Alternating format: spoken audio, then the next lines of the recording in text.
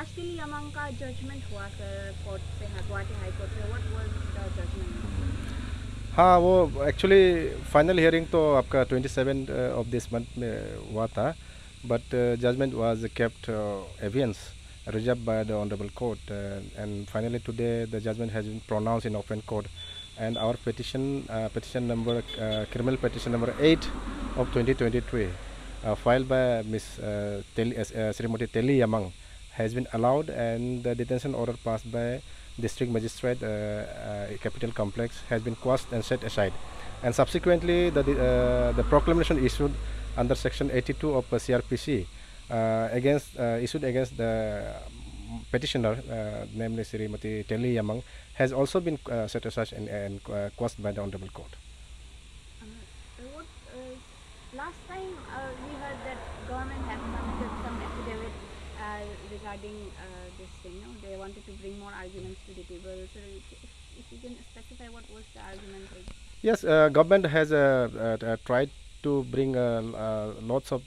facts and lots of new circumstances, and they have tried to dismiss our petition. But the honorable court has gone through the might have gone through the fact and the circumstances of the case, and they have accordingly pronounced the judgment in favor of us.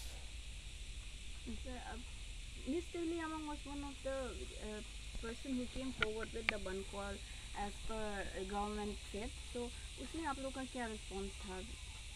No no, उसी को तो बोल रहा है कि fact and circumstances जो भी होता है रिकॉर्ड ऑन रिकॉर्ड में जो होता है उसको देखता है कोर्ट और अकॉर्डिंगली उसका इन्वॉल्वमेंट कोर्ट को नहीं पाया पाया होगा और उसका इंडल्जमेंट नहीं मिला होगा और प्रमेय प्रेशर कुछ नहीं था होगा कि since he was not at all involve in the propose bandh call which was declare by some organisation तो उसमें शायद तेली यमंग का इन्वॉल्वमेंट का प्रेमा पर्शी केस नहीं मिला होगा और हमारा जो पिटिशन को मेरिट में डिस्पोज ऑफ़ किया है। Uh, क्योंकि डिटेंशन ऑर्डर बहुत सारा आदमी लोगों का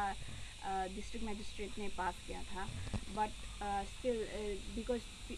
police couldn't catch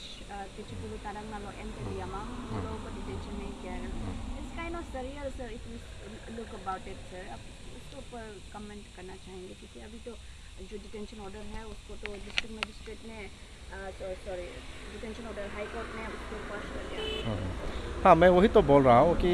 district magistrate जो ऑर्डर पास किया है that might have been pass erroneously तो लॉ का ये में according in according with law pass नहीं किया होगा, इसलिए आपका ऑनरेबल कोर्ट ने उसका जो ऑर्डर पास किया था डिटेंशन ऑर्डर आठ तारीख को जो पास किया था, उसके बाद एक सब्सिक्वेंट ऑर्डर जो मई ट्वेंटी को पास किया था ये प्रोक्लेमेशन इशू किया था। तो उसको कोर्ट ने कोई मेरिट नहीं मिला होगा इसलिए कोर्ट ने सेट असाइड एंड कर दिया क्योंकि डिस्ट्रिक्ट हम लोग का चैलेंज भी वही था कि district magistrate can not pass such an order and district magistrate has no authority to pass order erroneously हम लोग उसका ऑर्डर को एरोनियसली पास किया है बोल के हम लोग बताया था। तो so our petition has been allowed and miss Teli Amang has been set free the honourable court And then uh, in court, uh, regarding Apo also some cases going on. PIL also has been filed. Sir, तो आज का जो तारक नालो तेचुपुर and Teliyamang जो judgment pass किया है, this affect on the uh, case that's been going on on uh, regarding नहीं देखिए वो पेटिशनर और उसका जो अफेयरिंग काउंसिल है वो अलग है और उसका वो जो जिस मेरिट में जिस ग्राउंड में फेल पाइल किया है that we can not say anything about the pending case so हम लोग विश्वास करता है कि हमारा जो आज आज का जो जजमेंट है और पहले जो जजमेंट दिया था तदक नालो और तेचीपुरु का जो पेपर में शायद वो वो जजमेंट भी काम करेगा होगा क्योंकि और वो तो उस, उसका जो अफेयरिंग काउंसिल और जो पिटिशनर का ऊपर डिपेंड करेगा how they will use this judgement in their case